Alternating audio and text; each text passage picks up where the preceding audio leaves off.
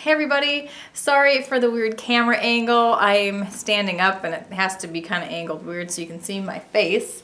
Because this little guy won't let me sit down. Right, he won't let me sit down. So this is the This or That Summer Edition tag that was made by Samantha Happily a Housewife and she also tagged me. Question number one is ocean or pool? And I'm gonna compare an ocean to a lake because that's what we have where I live. I've never swam in an ocean before. And if I had to choose, I would choose pool for sure. Number two, beach vacation or wilderness. I would probably choose a beach vacation. I've never had a beach vacation, but I hope to someday. Three, watermelon or strawberries. Hands down watermelon. I love watermelon. Four, bikini or one piece. Oh, I feel like I should say one piece because I'm a mom and I'm like 30. I'm in my 30s. Um, but you know, I have to be honest. I'm going to go with bikini. Lemonade or iced tea? I'm definitely lemonade.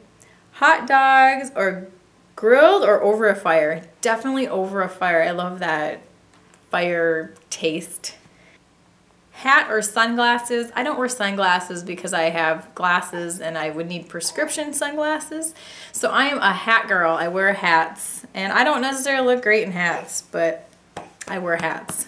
Windows down or AC all the way? Um, I would probably choose air conditioner in the car because I don't like the windows down because it's just so loud in my ears and then I can't hear anything going on and it blows my hair and yeah, I'll choose air conditioner in my car.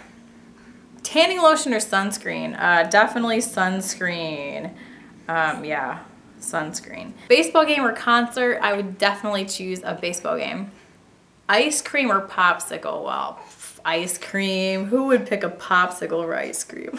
Fireworks or fireflies? Definitely fireflies. Flip-flops or bare feet? Bare feet for sure. I love being barefoot, definitely. Water balloons or squirt guns? Um, water balloons. All right, that is the tag. I'm taking anybody watching that didn't do this tag and wants to do it. And if you do it, please tell me so I can watch it. All right, thank you for watching. Say bye.